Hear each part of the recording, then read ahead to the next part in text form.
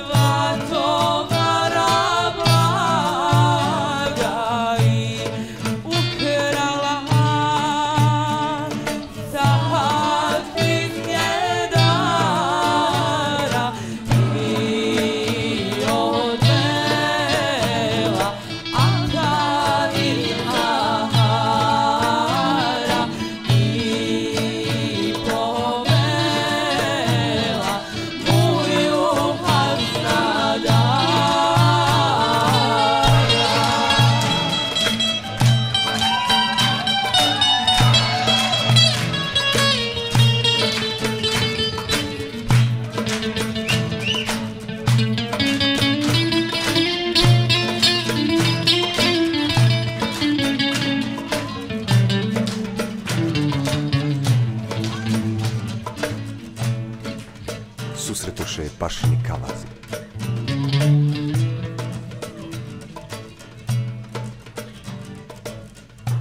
Što pobježe pašina robinjo? Što suzila dva tovara blaga?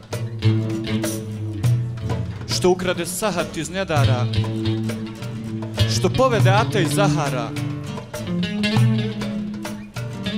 Što povede Muju Haznadara Što povede Muju Muju Haznadara Blaga